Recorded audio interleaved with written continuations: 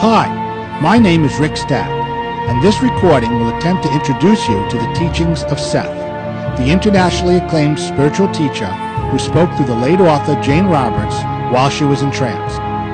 In 1963, Jane Roberts and her husband Robert Butts began experimenting with a Ouija board as part of an experiment for a book Jane was working on on extrasensory perception. During her experiments, a personality began to communicate with Jane and Rob through the Ouija board, and eventually, with Jane's permission, began to speak through Jane while she was in a trance state. The entity that spoke through Jane Roberts called himself Seth, and stated that he was a non-physical teacher who had lived many lives in physical reality.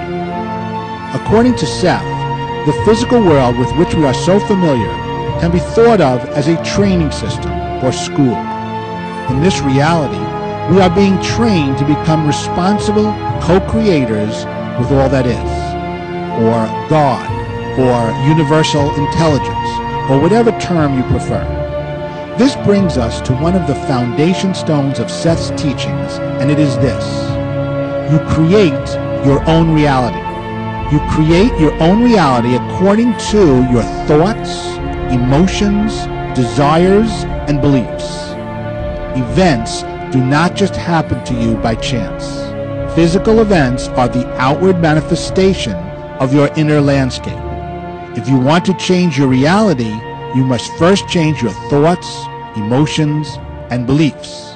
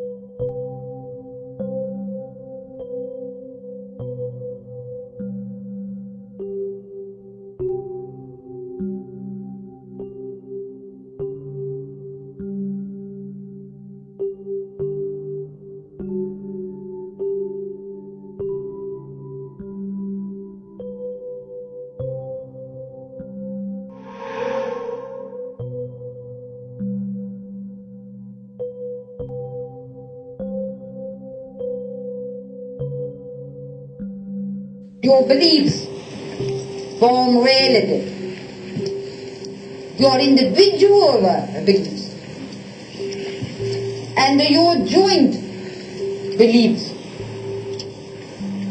And if you believe in very simple terms that people mean you well uh, and will treat you kindly, they will. And if you believe that the world is against you, then so it will be in your experience. And if you believe, if you believe that you will begin to deteriorate at 22, then so you shall. And if you believe that you are poor and always will be, then so your experience will so prove to you. Your beliefs meet you in the face when you look in the mirror. They form your image.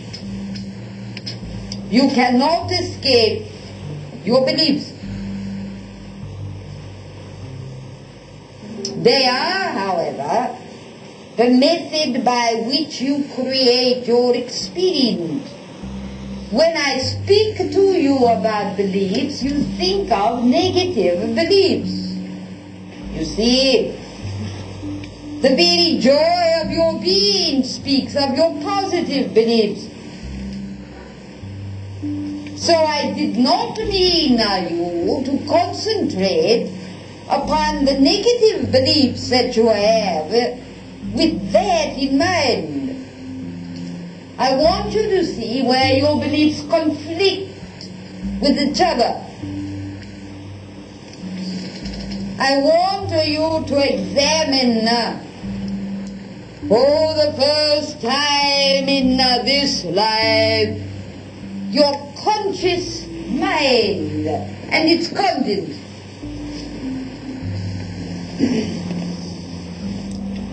You all pride yourselves on being conscious creatures.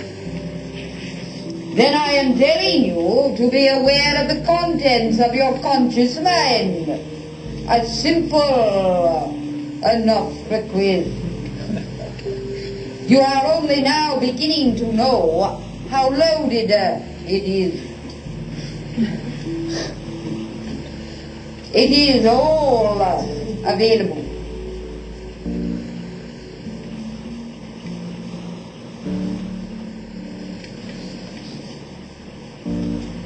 The beliefs are not buried unless you believe that they are.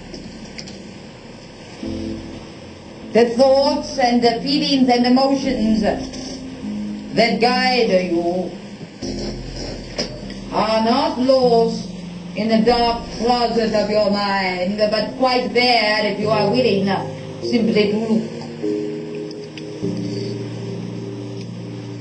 It is all available. And in its own way, it is all creative and it is all a constructive.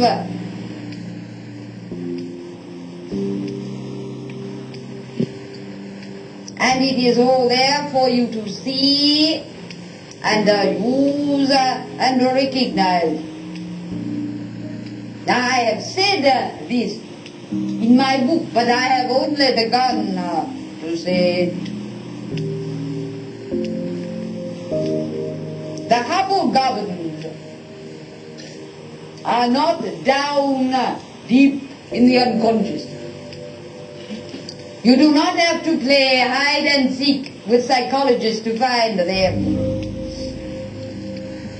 They are not buried in your past, in this life or in any other life. You are not bound by promises given. You are not bound by false beliefs. You are free, conscious being. And uh, so, hopefully, you will learn how to be joyful, conscious being. And when you are, then you will not be afraid of the innocent. And you will have freely let in data from the outside world and the inside world. Being quite secure in your position. It is important that you here realize that you are not at the mercy of the unexplainable. That you are not at the mercy of events over which you have no control. Whether those events are psychological events or physical ones in your terms. As I have told you, there is little difference if you believe that your present life is caused by incidents in your early infancy or caused by past lives over which equally you feel you have no control. Your events, your lives, your experiences are caused by your present beliefs change the beliefs and your life changes.